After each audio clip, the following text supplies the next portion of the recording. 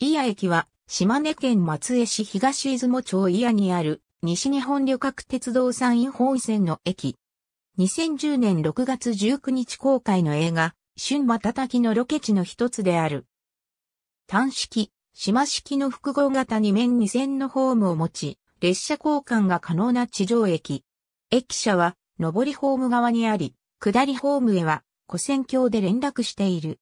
かつては2面3線であったが、2001年7月の島根県内山陰線高速化の際に抽選が撤去され、現在の形となった。同時に、ホーム先端から米子方約 2km の複線化がなされ、走行しながらの行き違いが可能となった。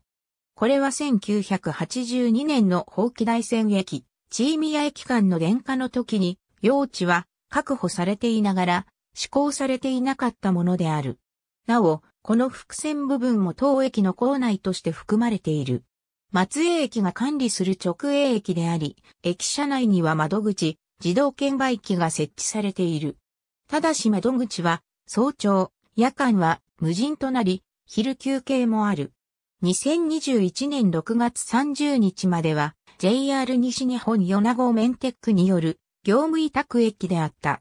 また、駅舎には NPO が運営する町の駅、東出雲町の駅、メトラが併設されている。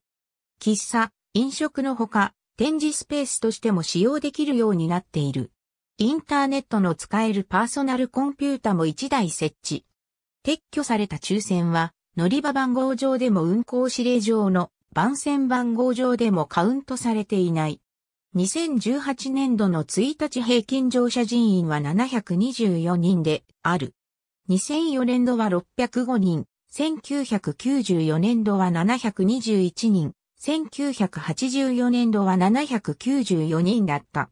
近年の1日平均乗車人員は以下の通りである。広報資料、プレスリリースなど一時資料統計資料。ありがとうございます。